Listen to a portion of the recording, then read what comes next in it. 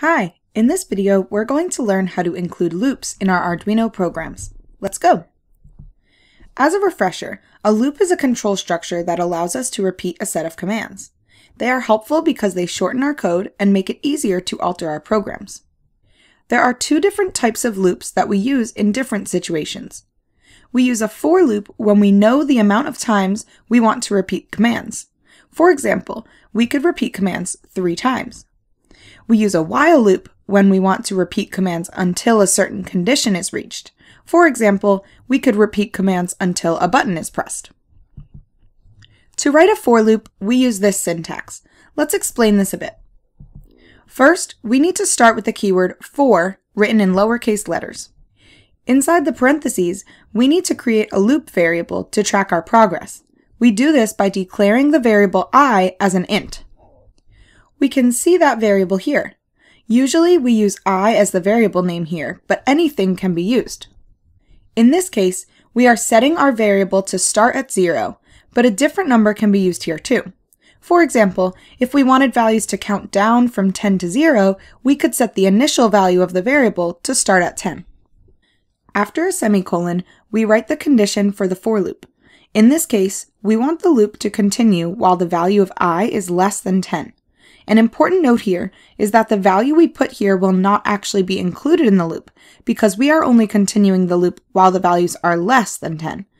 This means that the last time through the loop in this case is when i equals 9.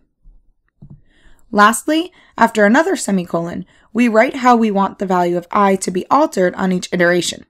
Here we are adding 1 to the value of i each time, but we could write i plus equals 2 to count by 2's, or i minus minus to subtract 1 on each iteration.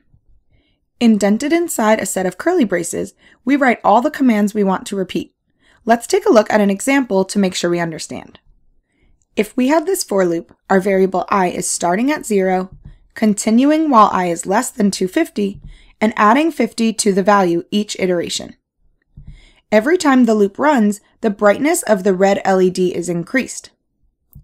On the first run, I has a value of 0, so the LED is off.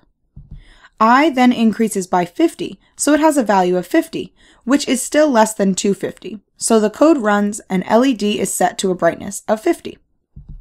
50 is added to I again, so it becomes 100. The LED is now set to a brightness of 100. Another 50 is added to I, so it becomes 150, which is still less than 250. So the program runs and the LED is set to a brightness of 150. 50 is again added to I, so it becomes 200. The LED is now set to a brightness of 200. Another 50 is added to I, so it becomes 250, which is not less than 250, so the loop ends. Let's take a look at this in our Tinkercad simulator.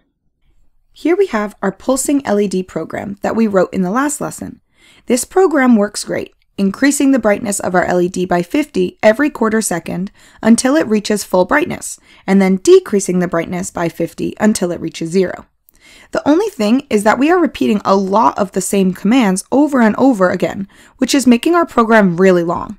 This is exactly the perfect time to implement a for loop.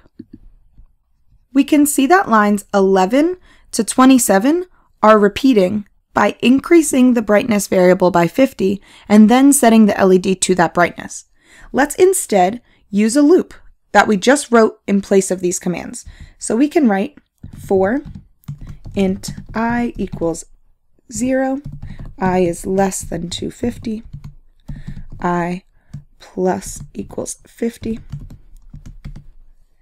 and we want to write to our red LED the value of I. Then we want to wait a quarter of a second. And we close our curly brace. Let's see how that works. Awesome. Now we can also use a loop to control the rest of our code. All we are doing is now decreasing the brightness by 50 every quarter second until it reaches zero. So let's implement that loop also. We can write for int i equals to 50, i is greater than zero, i minus equals 50. And inside our curly braces, we just want to set red to that value of i and wait a quarter second. Let's see it all together. Perfect. Now, one other thing we can do to make our program even more readable is rename the variable i. Though it works just fine as is, we could instead use brightness so that it is clear what the variable is controlling. Let's change all the locations of i in our code to use brightness.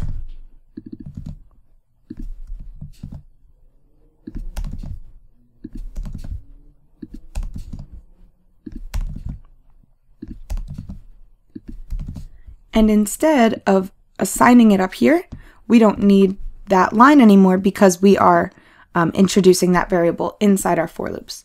Let's see how it looks. Perfect. The syntax for a while loop is a bit less complicated.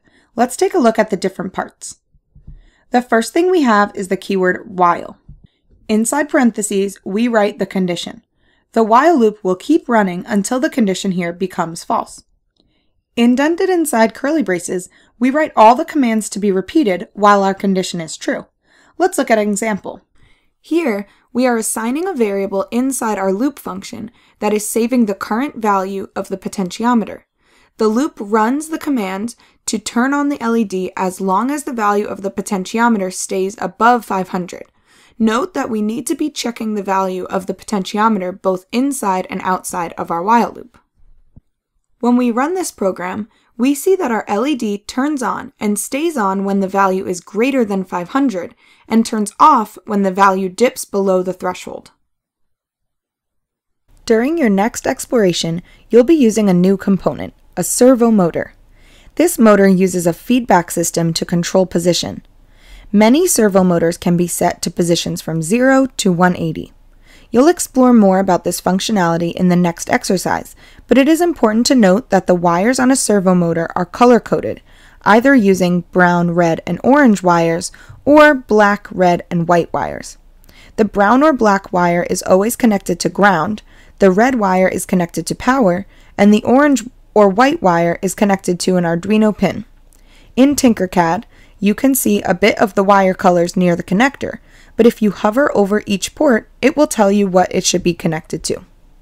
In this lesson, we learned how to use for and while loops in our programs. Now it's your turn to explore loops in your own Arduino programs.